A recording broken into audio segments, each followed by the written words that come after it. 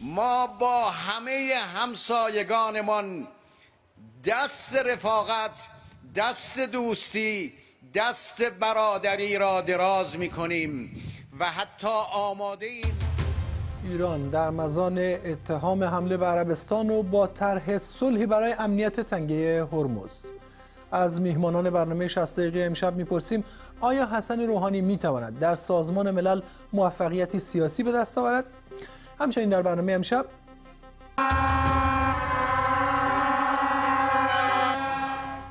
اتمام حجت با ایران برای حضور زنان در بازی های ملی و باشگاهی. خط و نشان فیفا دروازه ورزشگاه ها را بر روی زنان خواهد گشود.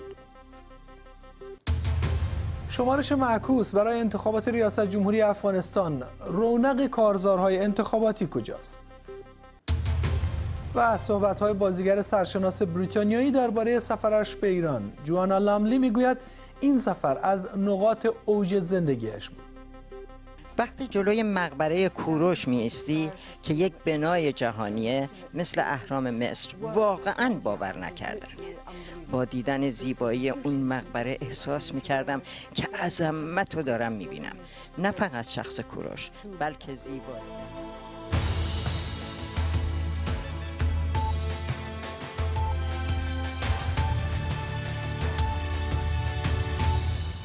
شست دقیقه.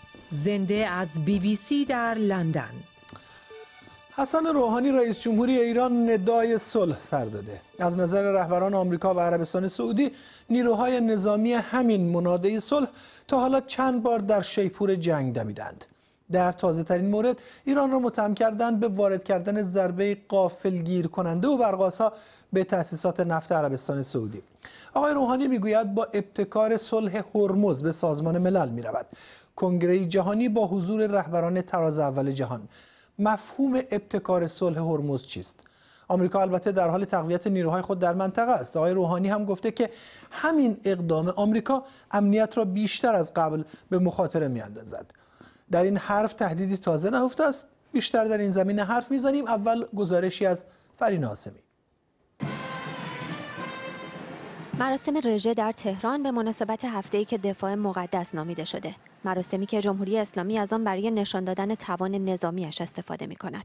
از جمله این موشک ها و از سیستم های دفاع ضد موشکی.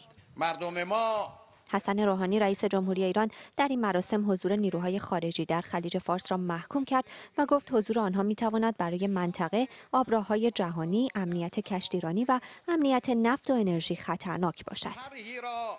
در روزهای آینده در سازمان ملل پیش روی جهانیان خواهیم گذاشت که جمهوری اسلامی ایران با همکاری کشورهای منطقه می تواند و اعلام می کند که امنیت منطقه و خلیج فارس و دریای عمان و تنگه هرمز را با کمک کشورهای منطقه به وجود خواهد آورد. همزمان اما آقای روحانی گفت کسانی که آنها را دشمن مینامید در مقطعی حساس قصد دارند از شکاف میان کشورهای منطقه سوء استفاده کنند. با همه همسایگانمان دست رفاقت دست دوستی دست برادری را دراز می کنیم و حتی آماده ایم از خطاهای گذشته اونها در این منطقه بگذریم. این روزها روابط ایران با همسایگان جنوبیش شاید از هر زمانی تیره تر باشد. عربستان و آمریکا انگشت اتهام حمله به تأسیسات نفتی آرامکو را به سوی ایران نشانه گرفتند. اتهامی که ایران آن را رد کرده. حسن روحانی این اتهام را تکرار دروغ‌های قبلی خوانده و حوثی‌های یمن گفتند که مسئولیت این حمله بر عهده آنهاست. سازمان ملل تیمی به عربستان اعزام کرده تا درباره این حملات تحقیق کند. آمریکا پیشتر از اعزام نیروی تازه و سیستم دفاع موشکی به عربستان سعودی و امارات خبر داده بود. مایک پومپئو وزیر خارجه آمریکا در مصاحبه با شبکه خبری فاکس گفته که آمریکا به دنبال راه دیپلماتیک برای حل مناقشه با ایران است و سعی دارد از جنگ با تهران پرهیز کند. آقای پومپئو تاکید کرده اعزام نیروهای بیشتر به منطقه برای دفاع و بازدارندگی است. تنش میان ایران و عربستان در آستانه مجمع عمومی سازمان ملل رخ داده نشستی که پیش از این گمان می‌رفت فرصتی باشد برای دیدار احتمالی رؤسای جمهوری ایران و آمریکا ایران پیش از این دیدار با دونالد ترامپ را رد کرده بود و به نظر می رسد آمریکا هم حالا چندان مایل به این دیدار نیست. هیچ وقت هیچ گزینه‌ای به طور قطعی منتفی نبوده اما من قصدی برای دیدار با ایران ندارم. البته این به معنی این نیست که این اتفاق نخواهد افتاد. من آدم انعطاف پذیری هستم اما هیچ قصدی نداریم و برنامه‌ریزی نشده است. بریتانیا حمله به تأسیسات نفتی آرامکو را حمله به عربستان و بقیه دنیا دانسته اما گفته مایل است تنش را در خاورمیانه کاهش دهد. قبل از اینکه کسی را مسبب این حملات بدانیم می‌خواهم که همه چیز به طور کامل برایم روشن شود. به این دلیل که بتوان دست به اقدامی گسترده زد و حمایت همه جانبه را جلب کرد. بر اساس اطلاعاتی که به دستم رسیده کاملا نامحتمل است که تصور کنیم این حملات را حوسی های یمن انجام داده باشند. تنش میان تهران و واشنگتن در هفته های اخیر شدت گرفته. حالا که وزیر خارجه آمریکا می‌گوید به دنبال جنگ با ایران نیست و تهران هم از طرح صلح حرف می‌زند باید دید در روزهای آینده چه پیش خواهد آمد. فرین آسمی بی بی سی. همکارم بهمن کلباسی از نیویورک با ماست. بهمن از ابتکار صلح هرمز که قرار آقای روحانی در سازمان ملل مطرح کنه چه اطلاعاتی در دسته؟ دیپلمات‌های ایرانی دیروز بهش اشاره کردند که یک چنین طرحی مطرح خواهد شد در سخنرانیش در مجمع عمومی سازمان ملل در گذشته دیدیم. یه طرح دیگری رو چند سال پیش حسن روحانی طرح کرد اینجا برای مبارزه با افراطیگری. اون یکی خیلی مورد استقبال قرار نگرفت. دست کم منجر به یک همکاری بین المللی نشد.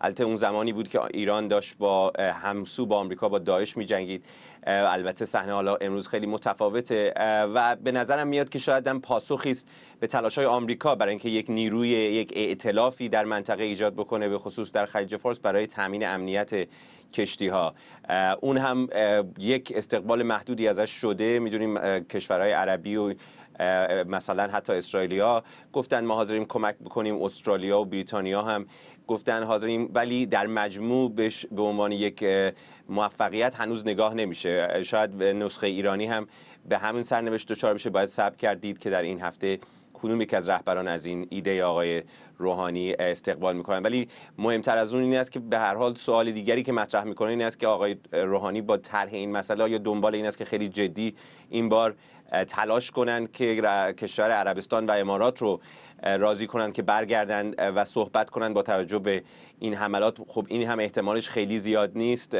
ولی یک احتمال دیگر وجود داره اونم این است که محاسبات عربستان و مخصوصا امارات ممکنه دچار یه مقداری تحول شده باشه در روزهای گذشته وقتی که دیدن که آقای ترامپ الزاما اشتیاقی به اینکه مستقیما به صورت نظامی بیاد و دفاع بکنه از عربستان یا حمله متقابل به ایران بکنه نداره و این شاید در محاسباتشون یه مقداری تغییر ایجاد بکنه و فکر کنن که بهتر است کار به جای خیلی باریک نکشه. ولی به هر حال فعلا یک پیشنهادی است که باید ثبت کردید رهبران جهان چگونه ازش استقبال می‌کنن مخصوصا رهبران کشورهای عربی خلیج فارس.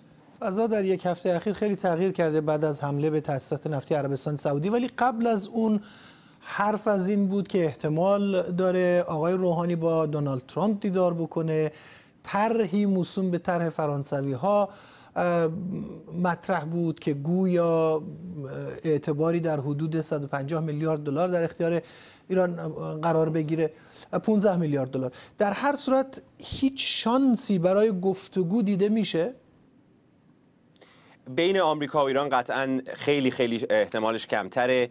و مشخص هم است که پاسخی که طرف ایرانی داده و آمریکایی هم حالا این پاسخ شنیدن و بر روال معمول آقای ترامپ می‌گوید که منم اصلا خیلی دنبال دیدار نیستم همان است که قبل بوده. تا اینکه اطمینان پیدا نکنند یک چنین دیداری یک چنین عکسی از آقای ترامپ و آقای روحانی یا حتی آقای پومپو و آقای ظریف منجر به این می شود که تحریم ها یه مقداری دست کم. کاهش پیدا بکنه یا اینکه آمریکایی‌ها موافقت بکنند با اون 15 میلیارد خط اعتباری فرانسه طرف ایرانی هیچ فایده ای درش نمی‌بینه و مخصوصا نگاه می‌کنن به مدل کره شمالی می‌بینن اون دیدارها همه انجام شد ولی کره شمالی هنوز هیچ در عمل شاهد کاهش فشارهای اقتصادی نبوده. در درسی که به نظر میاد طرف ایرانی گرفته این است که این دیدار فقط وقتی ممکن است که قبلش آمریکایی‌ها موافقت کرده باشند با یک تغییر مسیر و همچین نشانی دیده نمیشه. حتی ما از یک دیپلمات شنیدم اینجا که گفت که آقای پال سناتور پال که با آقای ظریف دیدار کرد در سفر چند ماه قبلش اینجا بهش گفته بود که شما بیای همین حرفایی که می‌زنید که اول آمریکا باید انعطاف نشون بده رو به آقای ترامپ در جلسه در کاخ سفید بگو شاید او بپذیره. خب طرف ایرانی گفته که ما یک چنین وعده ای رو نخواهیم پذیرفت. در نتیجه از سوی ایران طرف ایرانی این رد شده. آمریکایی هم حالا همطور که در گزارش هم آمد قصد دیدار ندارن. سوال اصلی این است که آیا طرح فرانسه به کلی از بین رفته یا اون هنوز شانسی داره؟ به نظر میاد که اتفاقات اخیر انزامن فرانسوی ها رو معیوس نکرده ولی به حال اونها هم با مانع جدی مخالفت آمریکا روبرو هستن. ممنونم از بهمن کلباسی همکارم در نیویورک. بحثی داریم در همین زمینه با سهراب صبحانی استاد سابق دانشگاه جورج تاون و کارشناس نفت و انرژی از واشنگتن با ما و همینطور شهیر شهید سالس روزنامه‌نگار و تحلیلگر مسائل سیاسی از کلگری کانادا با ما. آقای صبحانی ایران دست کم در مزان اتهام قرار گرفته کسی این ندای صلح طلبی آقای روحانی رو در سازمان ملل متحد در شرایط فعلی جدی می‌گیره؟ فکر می‌کنم به کارنامه جمهوری اسلامی در چهل سال اخیر نگاه خواهند کرد همسانگان ایران و به این نتیجه می‌رسن که این حرفها رو قبلا شنیدن اگر در بود تاریخی نگاه بکنیم چرا می‌شد این حرف رو باور کرد؟ چون که قبل از انقلاب اسلامی سیاست خارجی ایران درست همون حرفی بود که آقای روحانی می‌زد دوستی برادری با تمام همسایگان. و در عمل هم این رو ثابت کرد و این منجر شد به اینکه منطقه ثابت باشه اقتصاد اون منطقه ایران من جمله همسایاش پیشرفت بکنه. ولی امروز برگ کاملا فرق کرده. و من فکر نمی کنم که همسایه های ایران می‌خواد آذربایجان باشه عربستان امارات کویت اینها لزوما قبول داشته باشن حرفای آقای روحانی رو. آقای شهیر سال شما چی فکر می‌کنید؟ من فکر می‌کنم که اولا سابقه صلح و دوستی بین ایران و عربستان وجود داشته. و وجود داره. در زمان آقای خاتمی حتی زمان آقای هاشمی این مسئله نزدیکی ایران به عربستان شروع شد. ایشون فرستاده ویژه آقای حسین موسویان رو فرستادن به عربستان و بعد از اون روابط بسیار خوب شد. تا زمان آقای خاتمی که به یک معاهده امنیتی بین دو کشور منجر شد. بنابراین این سابقه وجود داشته. اینطوری هم نیستش که تمام مدت تو جنگ و جدال بودن. از زمانی که آقای احمدی نژاد اومد سر کار ورق برگشت. و خب داستان ها ادامه پیدا کرد. الان گرفتاری به نظر من اون مشکل اصلی که تمام این مسائل رو شاید به دنبال خودش اوورده مسئله تحریم های ایران و خارج شدن آمریکاست. درسته که عربستان الان اینجا مورد ضربه قرار گرفته وزیر ضرب هستش ولی به نظر من ریشش در اونجا است. آیا عربستان این مسئله رو جدی می‌گیره؟ عربستان چاره ای نداره جز اینکه این مسئله رو جدی بگیره. چرا؟ برای اینکه عربستان الان می‌خواد سهام آرامکو رو بفروشه. 100 میلیارد دلار اینا می‌خوان پول وارد مملکت بکنن. 70 میلیارد دلار کسری بودجه داشته در سال 2018 67 میلیارد دلار هزینه نظامی کرده. سومین کشور تو دنیا از نظر هزینه نظامی.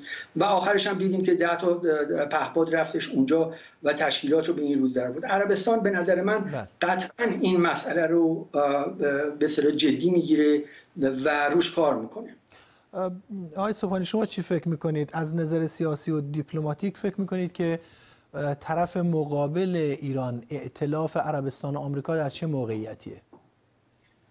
در آمریکا یه افاده ای است که همه سیاست محلی است. من فکر می‌کنم که آقای ترامپ اگر که به مسئله ایران و آمریکا نگاه می‌کنه از نقطه نظر خودش از نقطه نظر تاثیرش روی سیاست داخلی آمریکا نگاه می‌کنه و انتخاباتش. همینطور پادشاه عربستان ملک سلمان و ولیعهد عربستان محمد بن سلمان. اونها هم از نقطه نظر مسائل داخلی عربستان چه تأثیری تنش در منطقه خواهد گذاشت روی اقتصاد عربستان و به حساب رفرم هایی که خاندان آل سعود می‌خواد انجام بده. آقای شهیر سالس از نظر شما ایران در موقعیت ضعف یا در موقعیت قدرت خصوصا از منظر دیپلماتیک. به هر حال ایران در مزان اتهامه. درست. به نظر من ایران از نظر مالی و اقتصادی فوق العاده زیر فشاره و اینکه این کار از طرف ایران بوده یا نبوده به نظر من یه چیز مشخصه که به هر صورت به کمک ایران بوده. حوسی ها یه همچین داستان و تکنولوژی رو نمی‌تونن به وجود بیارن. ایران دست زده به نظر من به یک بحران سازی مدیریت شده برای که این شرایط رو تغییر بده و شاید هم در این زمینه موفق بشه. خلاصه جواب سوال شما این هستش که ایران از نظر اقتصادی در موقعیت ضعیفی قرار گرفته ولی این تحولات به نظر من باعث میشه که جریان به سمت صلح بیش بره تا به سمت جنگ. شما فرمودید آقای صبحانی که سیاست محلیه و اشاره کردید که آقای ترامپ حساب و کتاب های انتخاباتی می‌کنه. همین نمی‌تونه به ضرر عربستان تموم بشه؟ خب در این حال عربستان قول و وعده میده برای خرید سلاح که از نقطه نظر آقای ترامپ خرید سلاح کمک می‌کنه به ایجاد کار تولید کار در آمریکا. عربستان تعهد خواهد کرد که دوباره نفت بازار دنیا رو بیشتر بکنه که تاثیر خواهد گذاشت روی قیمت و قیمت میاد پایین. اینها همش در ضمن نه تنها فشار بلکه قولهایی است که ریاض می‌تونه به آقای ترامپ بده و این برای آقای ترامپ خب جنبه مثبت داره به هر حال. ولی آقای صبحانی منظور من اینه که عربستان زیر ضربه ضربه سختی خورده. بعد آقای ترامپ فرض بفرمایید که در یک نشست مطبوعاتی حرف از پول می‌زنه. شکی نیست که آقای ترامپ از نقطه نظر بعد تاریخی که نگاه می‌کنیم رئیس جمهوری است که بیشتر مسائل مالی تجاری اقتصادی مد نظرشه و اگر که ببینه از نظر مالی و از نظر همونطور که اشاره کردم انتخابات خودش دیدار با آقای روحانی به نفشه این دیدار خواهد کرد ابایی نخواهد داشت. اگر ببینه فشار هست از طرف عربستان که این دیدار صورت نگیره نخواهد کرد. نهایتا ایشون مسئله رو از دید خودش نگاه می‌کنه. اما سوال بزرگتر سوال مهمتر این هست. آیا این تنش ها به نفع مردم ایران هست یا خیر؟ چون که در چهل سال گذشته این تنش ها این عدم دوستی و همکاری دودش تو چش ملت ایران رفته و متاسفانه اقتصاد ایران هست که امروز ضعیف و متاسفانه برای ملت ایران هیچ نوع برآوردی نداشته. آقای شهید سالس برآورد شما این بود که فضا برای مذاکره و یک گفتگوی سیاسی فراهمتر شده با توجه به تحولاتی که رخ داده. چه دلیلی دارید برای این مشخصا؟ به خاطر اینکه یک طرف میگه که ما ضربه خوردیم ضربه نظامی خوردیم. به آسونی نمی‌تونیم از این بگذریم. ببینید من همونجور که عرض کردم عربستان الان یک طرح خیلی بزرگی داره. سهام آرامکو می‌خواد بیاد وارد بازار بورس نیویورک بشه. صحبت 100 میلیارد دلاره که این پول باید وارد عربستان من متوجه این فرمایشات شما شدم. اون تا اینها در شرایط عادی معنا داره مفهوم داره ولی وقتی یک کشوری حس می‌کنه که با یک ضربه نیمی از تولیدات نفتش از رده خارج شده وجهه منطقی و بین المللیش آسیب دیده. آیا این حساب و کتاب ها رو می‌کنه؟ بله صد درصد به نظر من. ببینید این مسئله مربوط میشه به اون چیزی که من گفتم. این وضعیت اگر حل نشه اگر این بحران حل نشه فرض کنیم ما جنگ با یمن ادامه پیدا بکنه. همین سهام اگر بیاد وارد بازار بورس نیویورک بشه چه کسی میره اینا؟ نمیگم نمی‌خرن ولی به هر صورت خیلی خیشتنداری می‌کنن. برای اینکه هر لحظه ممکنه دو مرتبه این تشکیلات ضربه بخوره. این خیلی برای عربستان مهمه. و ما یه چیزی رو یادمون نره. از سال 2015 تا حالا چهار ساله داره میگذره. عربستان هر چی که می‌تونسته در توانش بوده تو یمن انجام داده. و به نتیجه نرسیده و به نتیجه هم نخواهد رسید. برای اینکه با یه نیروی نامنظم داره مقابله می‌کنه. امریکا در ویتنام به زانو در اومد. شوروی در افغانستان به با نمیشه با یه نیروی نامنظم با یه ارتش منظم طرف شد. بنابراین عربستان الان به نظر من 100 درصد در اثر این شکنندگی بیشتر به صلح فکر می‌کنه تا به جنگ. به خصوص که آقای ترامپ هم به نوعی پشت عربستان رو خالی کرده. آقای صبحانی امروز در مطبوعات آمریکا گفتگویی بود با جان کری وزیر خارجه پیشین آمریکا. او البته که اشاره می‌کرد آنچه که از ایران سرزده از نظر ایشون ناشایست و نادرست بوده ولی تاکیدش این بود که آغاز اینها خروج آمریکا از برجام بود و موضع گیری رئیس جمهوری آمریکا. از دید بسیاری چنین انتقادی به رئیس جمهوری آمریکا وارده. شما چی فکر می‌کنید؟ میشه این رو قبول کرد حرف آقای کلی رو. اما در کوتاه مدت آقای خمینی بنیانگذار جمهوری اسلامی چراغ سبز رو داد به دانشجویان که سفارت آمریکا رو بگیرن. جمهوری اسلامی در لبنان سربازای آمریکایی رو کشت. در عربستان 19 سپاهی نیرو هوایی آمریکا رو کشت. همین اخیرا سعی کرد که در یک بمبگذاری در همین شهر واشنگتن که من زندگی می‌کنم سفیر عربستان سعودی رو بکشه. جمهوری اسلامی یک کشور نیست به نظر من. یک سیستمی است که در تنش است و با تنش می‌خواد زندگی بکنه و متاسفانه اقتصاد امروز دنیا به طوری است که اگر شما نتوانید سرمایه رو جلب بکنید به کشورتون و بتونید اقتصاد رو شکوفا بدین در انزوا قرار خواهید گرفت. و این متاسفانه کارنامه است که و تصمیمی است که دولت جمهوری اسلامی اتخاذ کرده. آی صبحانی بعضی از این مواردی که شما بهشون اشاره کردید رو جمهوری اسلامی رد کرده مثلا همین توطعه قتل سفیر عربستان سعودی رو نپذیرفتن. در هر صورت این نکته ای که آقای صبحانی میگن آقای شهید سالس خیلی ها بهش اشاره می‌کنن که گویا جمهوری اسلامی از بحران ارتزاق می‌کنه. اراده چندانی هم برای حل این بحران وجود نداره. چی فکر می‌کنید؟ من این حرف رو قبول ندارم جمهوری اسلامی از بحران زندگی نمی‌کنه. ولی در این حال به نظر من دو پایه اصلی سیاست جمهوری اسلامی یعنی مخالفت با آمریکا و مخالفت با اسرائیل بله از نظر ایدئولوژیک و از نظر پایه فکری و ایدئولوژیک نظام جمهوری اسلامی به نظر من یه چیزی تثبیت شده است. ولی آیا ایران دلش می‌خواد علیرغم یعنی در حد به اصطلاح لفاظی و صحبت کردن و شعار دادن بله. ولی اینکه ایران بخواد در عمل بخواد بحران بله. ایجاد کنه نه به نظر من همچین چیزی نیستش. ما در جریان برجام هم دیدیم که آقای خامنه ای عقب نشینی خیلی خیلی جدی کرد.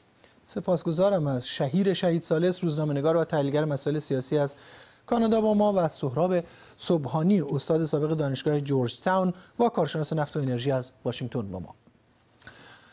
امروز پرسپولیس با یک گل استقلال رو شکست داد و برنده 90 داربی پایتخت شد. بازی تمام شد اما هیجان و خاطرات تماشای بازی برای علاقمندان و به خصوص اونهایی که بازی رو در استادیوم و از نزدیک تماشا کردن همچنان خواهد بود. گفته شده که این آخرین داربی که بدون حضور زنها برگزار می شود. جیانی اینفانتیانو رئیس فدراسیون جهانی فوتبال هم یک روز بعد از انتشار بیانیه این فدراسیون درباره حضور زنان در ورزشگاه های ایران گفته فیفا از طرف مقام های ایران اطمینان یافته که زنان امکان حضور در ورزشگاه ها برای تماشای مسابقات مقدماتی جام جهانی را خواهند داشت. بیشتر درباره چند و چون حضور زنان در ورزشگاه ها گفتگو خواهیم کرد اما اول گزارشی از مهدی بیگی حالا دیگه بازیکن با تجربه در خط دفاعی استقلال. یه فرصت برای پرسپولیسی ها. در منطقه جریمه که تو وارد دروازه میشه. داربی 90 گل دقیقه 80 پرسپولیس یا دقیق تر گل به خودی استقلال حسینی یه گل به خودی باید نوشته بشه. و درگیری بازیکنان دو تیم در آخر بازی.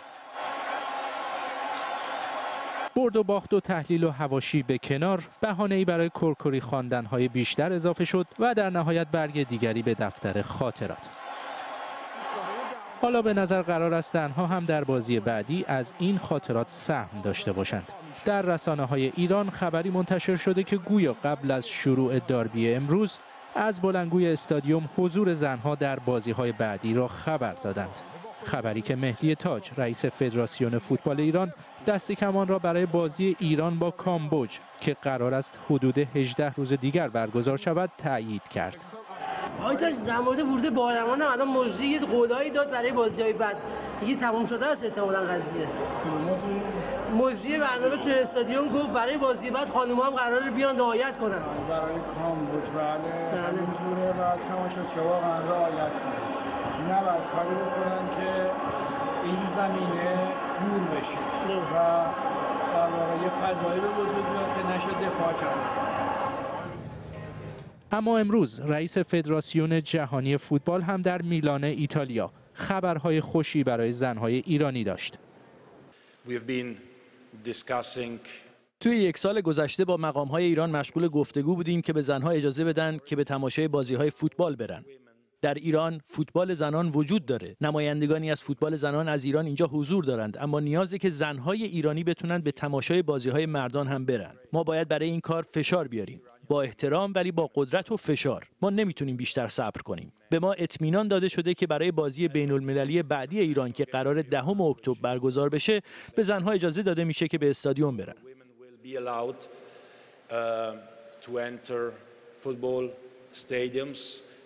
هفته پیش نمایندگانی از این فدراسیون برای بازدید از ورزشگاه آزادی تهران به ایران آمده بودند. دیروز هم فیفا با انتشار بیانیه‌ای بر حضور زنها در استادیوم های فوتبال تأکید کرد.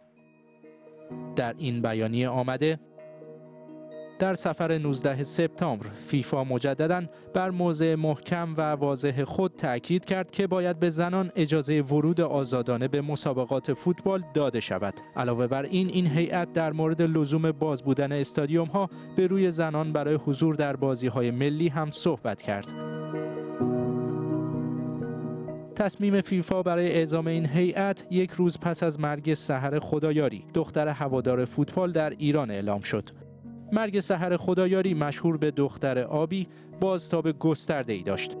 طرفداران استقلال امروز پیش از بازی با خواندن این شعر از او یاد کردند.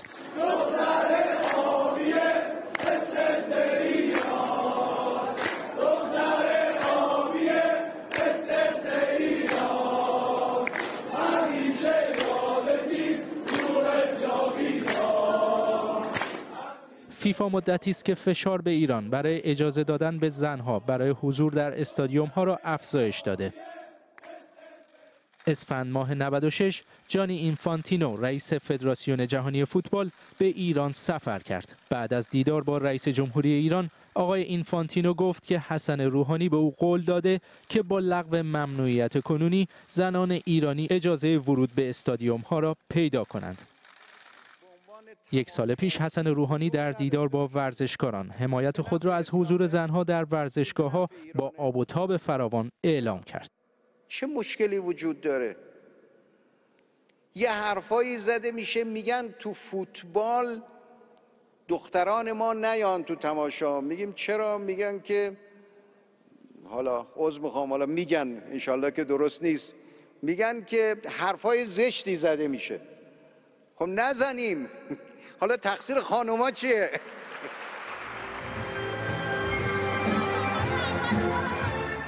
ای از زنها توانستند در یکی دو مسابقه حاضر شوند مثل بازی تیم ملی ایران و بولیوی در سال گذشته. اما درهای استادیوم ها به طور کامل به روی آنها باز نشد. دی ماه 97 مسعود سلطانی فر وزیر ورزش از آمادگی زیرساخت ها برای ورود زنها به ورزشگاه ها خبر داد. هیچ مشکلی ما نداریم. ورودی جدا، معبر جدا، محل جدا، سرویس های جدا، امکانات جدا در همه استادیوم های ما فراهمه اما ده روز پیش محمود واعظی رئیس دفتر رئیس جمهوری گفت هنوز آمادگی وجود ندارد ولی با فضای فعلی با فضای فعلی که هستش که اینقدر اینها علیه همدیگه فحش میدن یا درگیری هستش این مسلحت نیست در ایران حضور زنها در ورزشگاه ها همیشه با مخالفت برخی از شخصیت های سیاسی، مذهبی و مراجع تقلید روبرو بوده. این بار اما باید دید با وجود تأیید فیفا و مسئولان فوتبال ایران آیا درهای استادیوم به روی زنها باز می شوند یا نه؟ مهدی بیگی بی بی سی. پیام یونسی پور خبرنگار ورزشی و عضو هیئت تحریریه ایران وایر از وین اتریش یونسی پور تا چند اندازه فکر می‌کنید که این موضوع عملی بشه؟ آیا کاری است که شده و در دسترسه؟ ببینید یه مسئله وجود داره. اون خبری که دیشب روی سایت رسمی فدراسیون جهانی فوتبال قرار گرفت اگر صرفا جنبه خبر یا اطلاعیه رو داشت می‌تونستیم بگیم که خب فدراسیون جهانی فوتبال همچنان داره راه میاد و می‌خواد به همون مماشات قدیمی خودش ادامه بده. ولی وقتی جنبه بیانیه پیدا می‌کنه و به خصوص در دو پاراگراف آخر خودش ادبیات فیفا ادبیاتی کاملا تهدید آمیز و دستوری میشه می‌تونیم انتظار داشته باشیم که فیفا این مرتبه نمی‌خواد از موضع خودش پایین بیاد به خصوص اینکه در آخرین جمله خودش برخلاف اون چیزی که خب آقای مسعود سلطانیفر وزیر ورزش و جوانان بالاخص در مصاحبه تیرماه خودشون با روزنامه ایران ورزشی اعلام کرده بودن که ما به این نتیجه رسیدیم و فیفا تعامل کردیم که زنان فقط در بازی های ملی بیان و در بیانیه فیفا اون جمله آخر که در تمام بازی های فوتبال ایران باید زنان حضور داشته باشن به این معنیه که فیفا از این به بعد با جریمه و حتی محرومیت مقابل ایران قرار نخواهد گرفت. فیفا پیش از این شاید اگر زمانی که مذاکره داشت می‌کرد یا درخواستی داشت یا تخلفی صورت می‌گرفت با محرومیت یا جریمه جلو میومد اما زمانی که بیانیه ای صادر می‌کنه و موضع گیری خودش رو به صورت رسمی بین المللی می‌کنه دیگه اگر بخوان فدراسیون های عضو یا مجموعه ها می‌تونه باشگاه ها باشه یا افراد حقیقی و حقوقی جلوش بیستن مسلما با ابزار تعلیق جلو میاد. بله، فرمودید. موضع فیفا خیلی روشنه ولی منظور من اینه که آیا از همین موزه گیری و حرفایی که در داخل و در گزارش هم مطرح شد میشه گفت که قطعا دیگه این موضوع ختم به خیر شده الان کار تمومه؟ ببینید مسئله اصلی اینه. من یا شما جای مسئولین ایران نیستیم. و حال می‌دونیم برخی از مراجع مانند آقای مکارم شیرازی گفتن حرام حضور زنان در ورزشگاه. ایران دو گزینه پیش رو بیشتر نداره. یا با این دستور فیفا مصالحه می‌کنه و جلو میاد و درها رو به روی زنان باز می‌کنه. اونطوری که تازه فیفا خیلی شدید و لحن خواسته. یعنی اینکه حتی سند تعداد صندلی مشخص نمیدیم بر اساس اون چیزی که زنان تقاضا می‌کنن بهشون بلیط فروخته میشه. یا اینکه نه درها رو میبنده و قید فوتبال و بازی باشگاهی و ملی رو می‌زنه و وارد مرحله تعلیق میشه. آیا نسیپور با ما باشید. فعلا صدای چند تا از بیننده هامون رو میشنویم که نظرات خودشون رو با ما در میون گذاشتند. من 36 سالمه و از روزی که یادمه طرفدار تیم پرسپولیس بودم از سن 8 سالگی و خیلی خوشحالم که قراره خانما به ورزشگاه رو پیدا کنن. اگر واقعیت داشته باشه.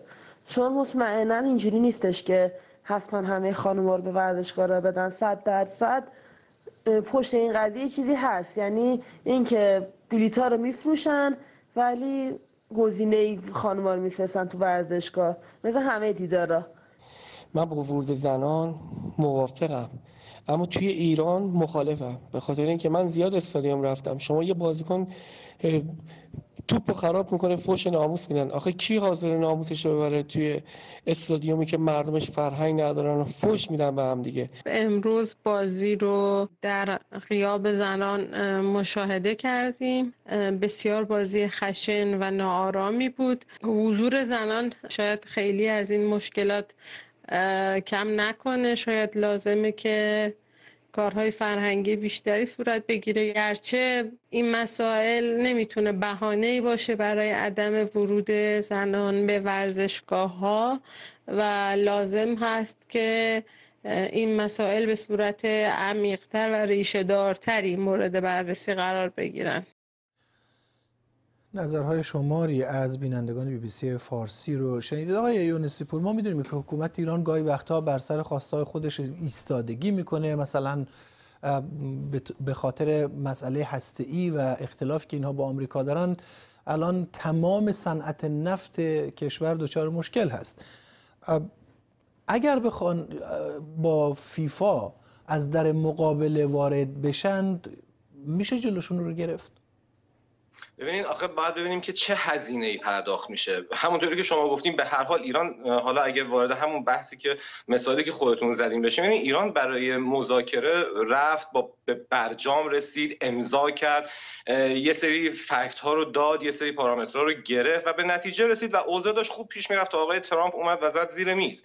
حالا درست یا غلطش رو کار ندارم بحث نمی‌خوایم سیاسی بکنیم. الان مسئله اینه که فدراسیون فوتبال ایران و آقای در حقیقت محمد رضا داورزنی نکته جالب اینه که توی گزارشی هم که فیفا ارسال کرده به اسم وزیر ورزش اشاره نشده و این خودش شاید اصلا جای بحث داره. چرا آقای داورزنی مهمترین نیروی امنیتی ورزش ایران. و همینطور آقای تاج نشستن صحبت کردن و موافقت کردن. آقای اینفانتینو همین دقایقی پیش مجددا روی سایت فیفا خبرش اومده که اعلام کرده که ایران با همه پیش های ما موافقت کرد. به نظر می‌رسه این همون شبیه برجام باشه. یعنی ایران جلو میره موافقت می‌کنه. اگر فیفا رفتاری مشابه آمریکا یا حالا درست یا غلطش رو بازگاهی نرم انجام نده و دوباره زیر میز نزنه حاضر هست که تن به چنین مسئله بده. بخشی از ورزشگاه رو در نظر می‌گیره. اون پیش بینی من حالا بسیاری هستش که بخشی از ورزشگاه رو در نظر می‌گیره برای خانم ها و اونها می‌تونن وارد ورزشگاه بشن و بازی رو تماشا بکنن. البته با محدودیت هایی خیلی وقتا در ایران یک موضوع گفته میشه. بعدا شما اشاره کردید که می‌تونن کنار بیان می‌تونن اون رو تغییر بدن شرایطی ایجاد کنن که بگن به هدفهای خودشون هم رسیدن. اگر حضور زنان در ورزشگاه ها می‌خواد عملی بشه اشاره شد که مثلا سرویس های بهداشتی جدا خواهد بود و چیزهای از این قبیل.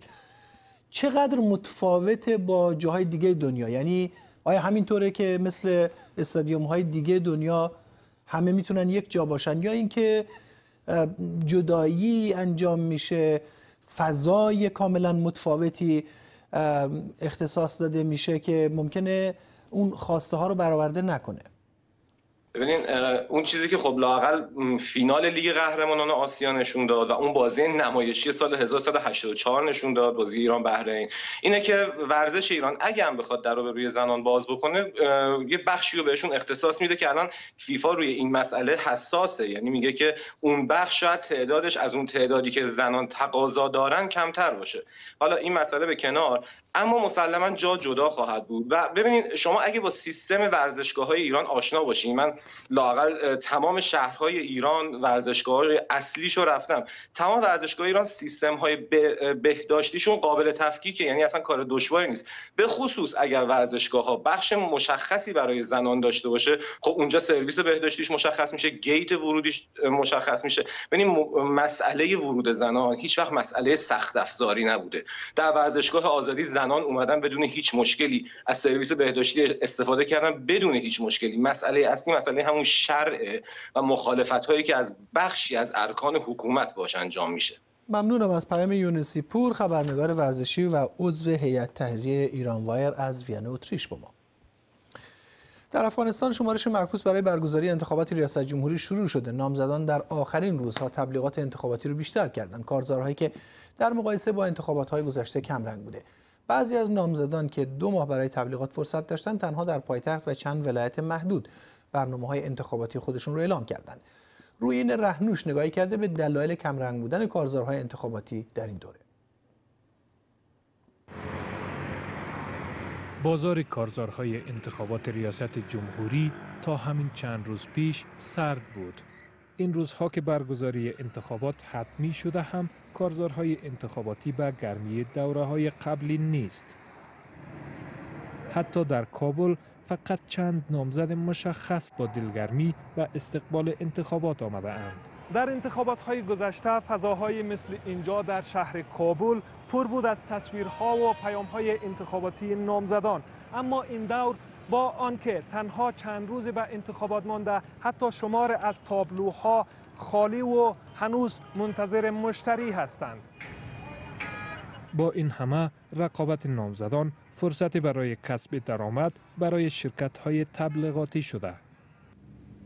از دید یکی از مسئولان این شرکت ها درآمد از کارزارهای انتخاباتی در مقایسه با انتخابات های قبلی چهل درصد کاهش یافته. این دوره نسبت به ادوار گذشته چه انتخابات ریاست جمهوری چه انتخابات پارلمانی که ما چند دوره تجربه داشتیم مارکت ما به مراتب ظروف و کسالت خود بسیار داره دلیلش هم است که یک سال هیره که امریکایی و طالبا شروع کرده بودن و تو زمزمه می‌شد که گویا که انتخابات نمیشه روند انتخابات ریاست جمهوری افغانستان در دو ماه اخیر تردیدهایی را به همراه داشته. برخی ها خواهان توقف انتخابات شدند و شمار هم آن را تحریم کردند. اما با همه تردیدها و نگرانی های موجود دولت و کمیسیون انتخابات تأکید به برگزاری انتخابات در ششمین میزان می کنند. نهادهای ناظر انتخابات ارزیابی هایشان را از دلسردی نامزدان به هزینه کردن روی کارزارهای انتخاباتی دارند.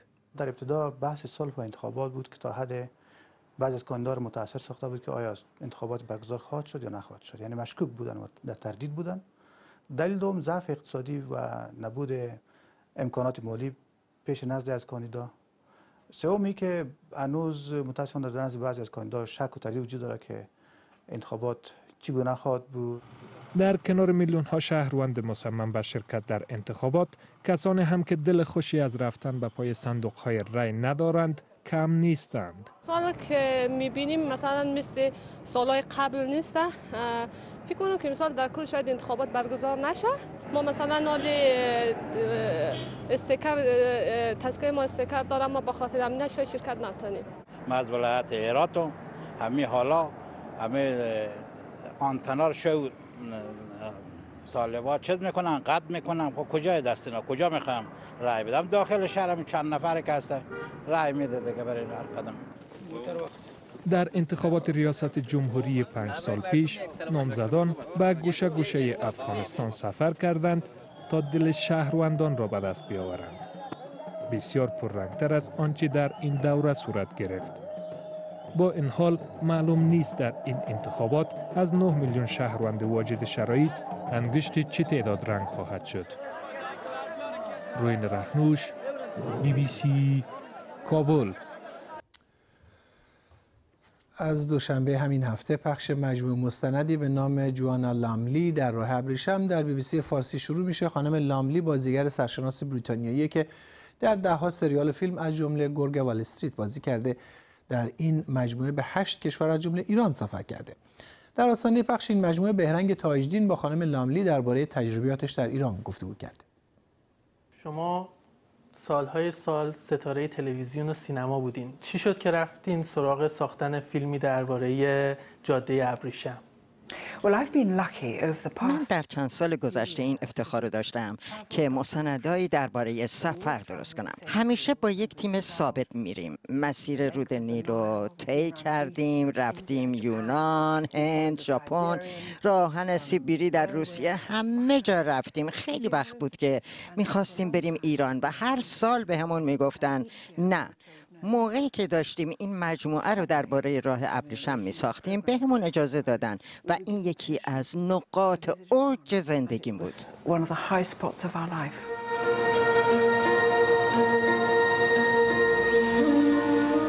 نمی‌تونم بهتون بگم چقدر ذوق دارم که اینجا. من توی تهرانم پایتخت ایران.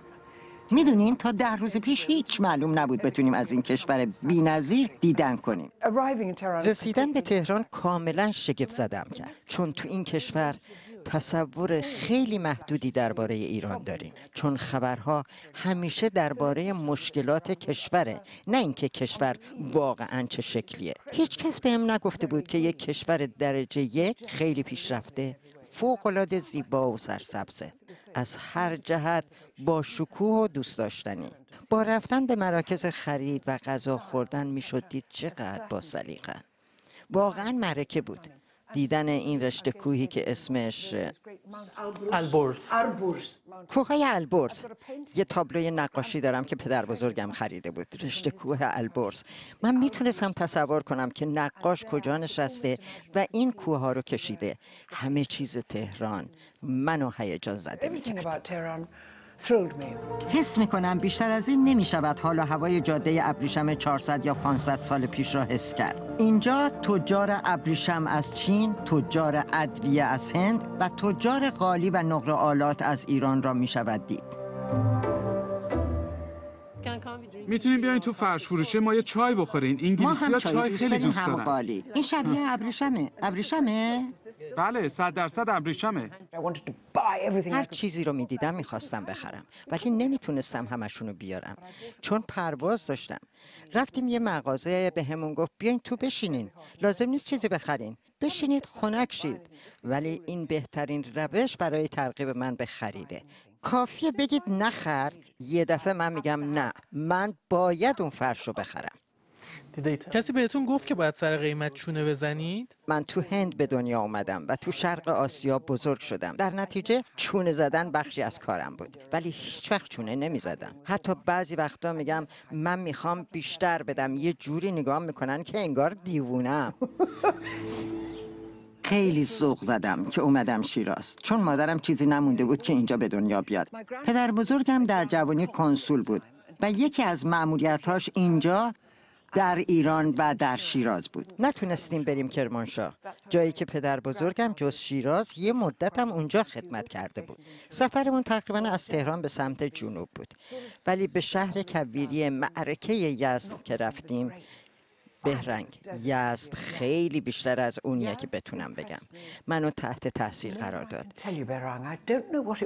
نمی‌دونم قضیه چی بود. از بچگی با کشتی می‌رفتیم خاور دور و بر میگشتیم خیلی وقتا تو جاهای گرم مثلا تو دریای سرخ تو عدن تو بندر پیاده می‌شدیم. از اون موقع خیلی به کویر گرم عظیم علاقه داشتم. یه دفعه تو یزد بهش رسیدم. با اون بادگیرای عظیم که روش فوقالعاده پیشرفته و زیبایی برای خنک کردن ساختمان ها هستند. یه موضوع روشنگر دیگه غذاست. نگران بودم که نتونه همه غذاها آبگوشت بز باشه. منم که گیاه خارم ولی اینجا بهترین غذاهای گیاهی دنیا رو خوردم و غذای امشبم در واقع گیاهیه. بحث شیرین غذا شما گیاه خارید و غذای مجلسی و رستورانی ما ایرانیا پر گوشته ولی میگید غذایی که تو ایران خوردید بهترین غذایی بود که خوردید. هر غذایی که خوردم از قبلی بهتر بود و طعمشون عالی بود. غذاهایی که با بادمجون و حبوبات و اینجور چیزا درست شده بود. همیشه نون کنارش بود. سالاد و دونه های انار و شیرین ترین گوجه فرنگی های دنیا. انگار همه چیزو برای گیاهخوارها درست می‌کردم با خودم گفتم خدایا این کشور گیاهخوارهاست. البته شما خیلی غذاهای گوشتی هم دارید. خوردن اون اون نوشیدنی های غیر الکلی هم لذت بخش بود. آب میوه ها و شربت ها خلاصه کیفیت غذا و نوشیدنی فوق العاده سلام. بشینین بشینین. اولین باره که اومدی مقبره حافظ؟ نه خیلی وقتا من میام ببینم فالی که امروز برات اومده مشکلی رو که داری حل می‌کنه؟ آره حافظ همیشه نوید بخش همیشه میگه که همه چیز خوب پیش میره مردم با جون و دل از ما استقبال می‌کردن هر جا می‌رفتیم ازمون میپرسیدن کجایی هستیم وقتی می‌گفتیم بریتانیایی یا انگلیسی هستیم می‌گفتن چه عالی ما دوستتون داریم. ما هم می‌گفتیم ما هم دوستتون داریم. خیلی دوست داشتنی بودن. خیلی سخاوتمند و محترم بودن. همیشه آماده بودن توضیح بدن. قسمت کنن نشون بدن یا ببخشن. احساس بی‌نظیری بود. کشور فوق‌العاده‌ای شما برای این مجموعه به هشت کشور مختلف سفر کردین. کدوم خاطر بیشتر از همه یادتون مونده؟ Truly, it's being in Iran.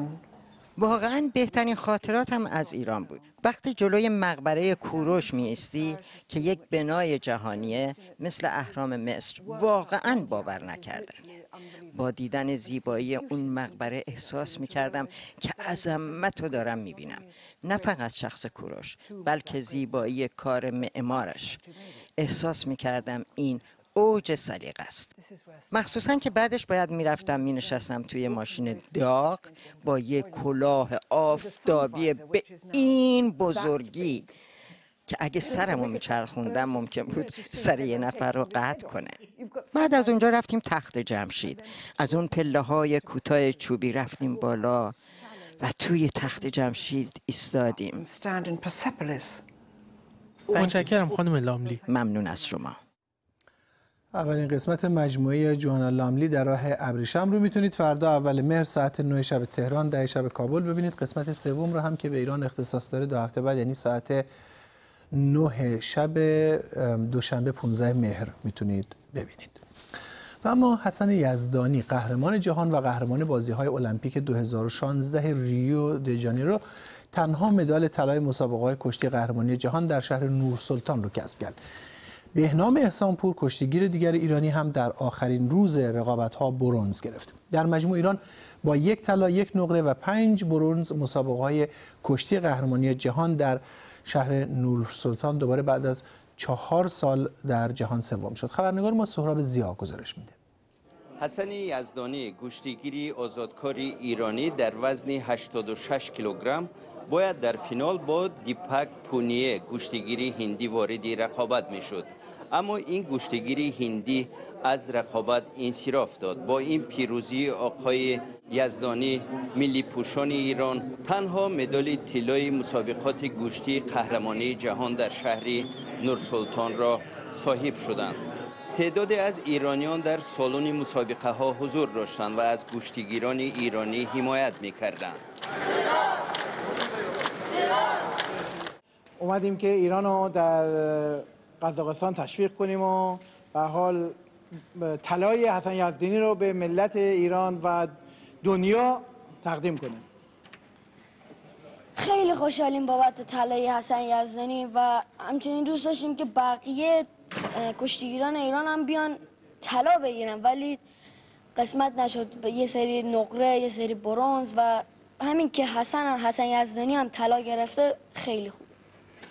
منم خیلی خوشحالم. به همراه خانواده‌ام اومدم. فقط به عشق ایران و کشتیگیره ایران. اونم بیشتر به خاطر اینکه پسرم خودش کشتیگیره.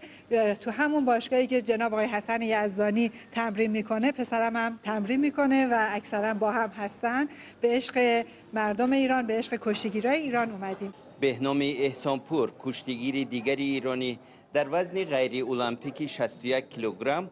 با عباس رحمانوف ازبک واردی رقابت شد و او را با حسابی 8 صفر شکست داد و برونز به دست آورد.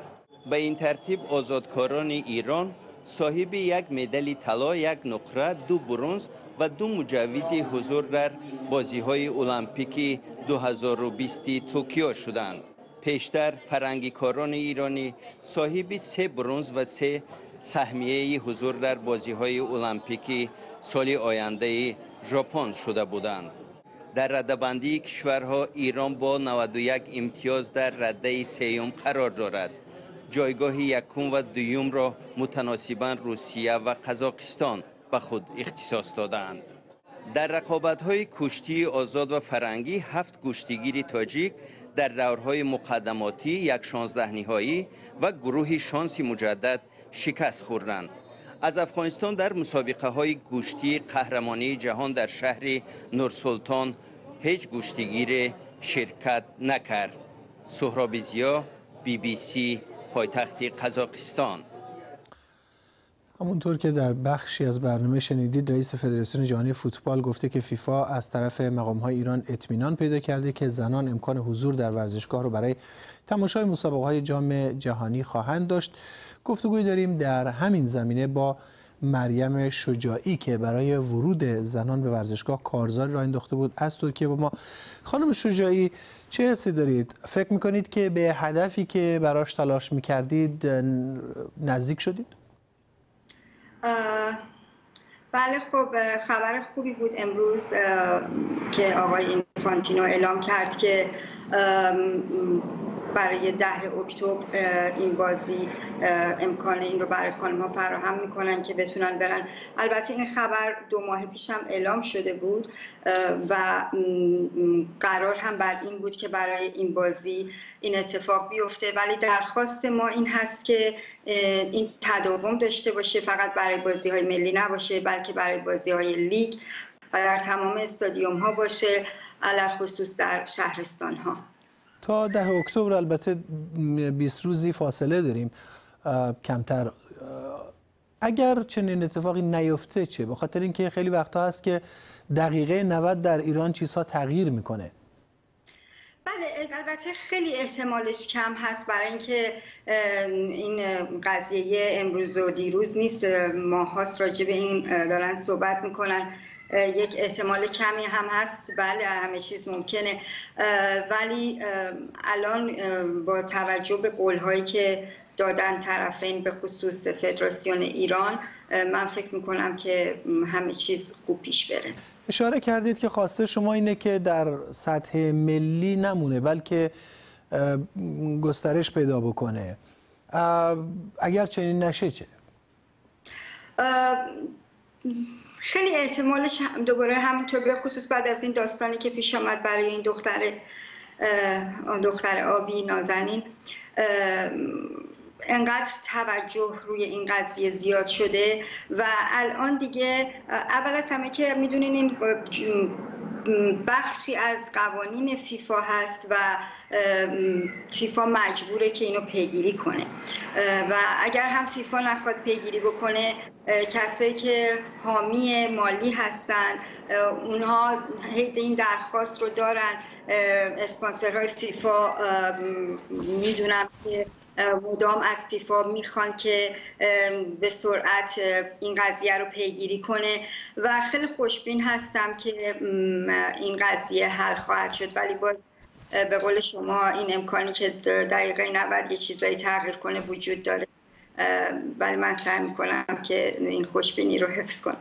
بسیار بسیار ممنونم از مریم شجاعی که کارزاری برای حضور زنان در ورزشگاه ها رو هم به راه انداخته بودند و الان هم خب بسیار خوشحال و امیدوار هستند بلکه این مسئله حل بشه. اما ممنونم از شما که تا این لحظه برنامه 60 دقیقه رو نگاه کردید. می‌تونید به وبسایت ما هم مراجعه بکنید و همینطور به کانال یوتیوب ما برای دیدن دوباره برنامه 60 دقیقه یا اگر فرصت نکردید برنامه رو ببینید.